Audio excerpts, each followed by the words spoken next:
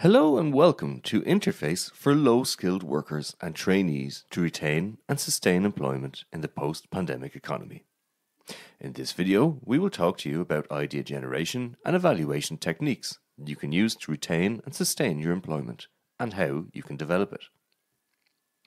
Idea generation techniques include methods that can assist you in processing and examining your thoughts to think of new ideas to help you achieve your goals.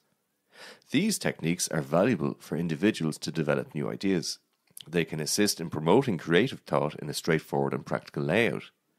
These techniques can give a broad assortment of different ideas that can support you in conquering creative blocks. Employing idea generation techniques can likewise ensure that you consider all different ideas carefully before acting. So you think you have all of these great ideas, but how do you know if they are as great as they seem? A winning idea demands a lot of creativity, planning, and soul searching. Three simple steps can support you in finding your winner. 1. Firstly, forget about being an expert right off the bat. It's not feasible. Instead, focus on the skills, experience, and passion you have already gained from your previous professional experiences. These will be the very things to guide you at the beginning. And if you have enough passion for your idea, this will help you drive through any bumps along the way. Two, evaluating your idea before you even go through with it can save you a lot of time and effort. There are many methods that you can use nowadays to assist you with reaching hypothetical outcomes for your ideas before using them.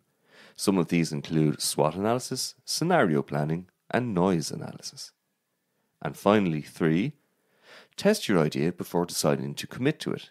Dipping your toe into your idea can be beneficial as you get the opportunity to see whether your ideas are winners or not.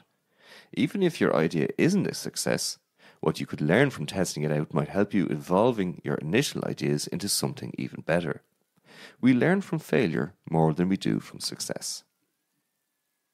When you have an idea, it is crucial to evaluate it meticulously to support you in deciding its practicability.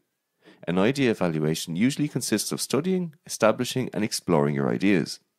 Being aware of how to evaluate an idea can assist you in planning efficiently so that you can attain your goals.